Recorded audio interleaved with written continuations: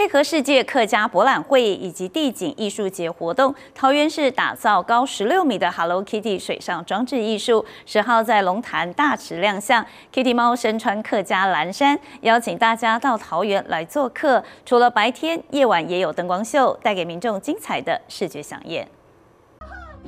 由桃园市政府以及三丽鸥设计团队共同打造的 Hello Kitty 来做客水上装置艺术，十号在大池精彩亮相。Hello Kitty 身穿客家蓝衫，融入客家花布的元素，新颖又可爱。桃园市长张善政十号傍晚来到大池与 Hello Kitty 合影，也邀请大家一起到桃园来欣赏今年的世界客家博览会以及地景艺术节。呃，明天就要开展的世界客家博览会。和我们已经举办多年的桃园地景艺术节，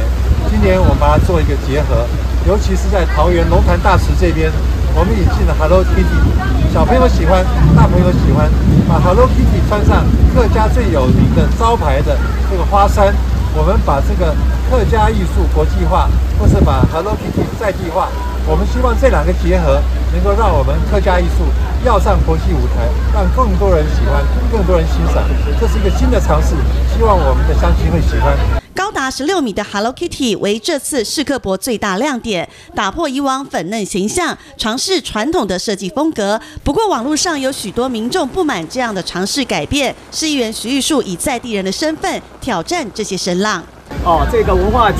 利用这个很非常知名的。哦，这种呃外国的创作，其实 Hello Kitty 也是创作哈。那能够在龙潭大池这里来做呈现，我觉得非常的棒哈。那当然也有些人会有不同的意见，我们也尊重了。可是多大多数的乡亲来都非常的开心，不管老不管少。所以这个 Hello Kitty，我觉得这种自入性的哦一种行销，我觉得非常的不错，可以让客家的文化让更多人看见。